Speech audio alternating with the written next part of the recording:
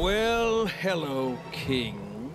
I'm glad to see that despite your utter failure as a ruler, you did listen to the voice of reason and made the only right decision. Give me your crown and swear allegiance to me. I promise I shall rule your lands wisely and mercifully. Um, what? What?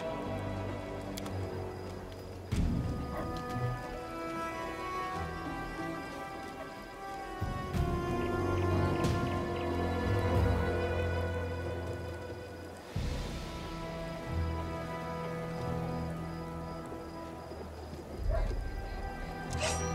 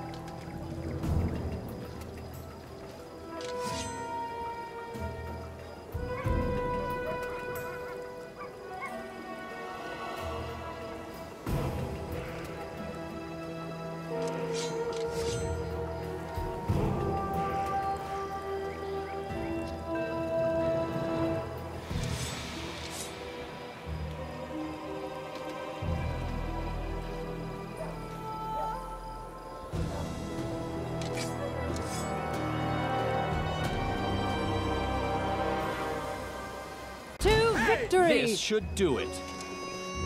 Done.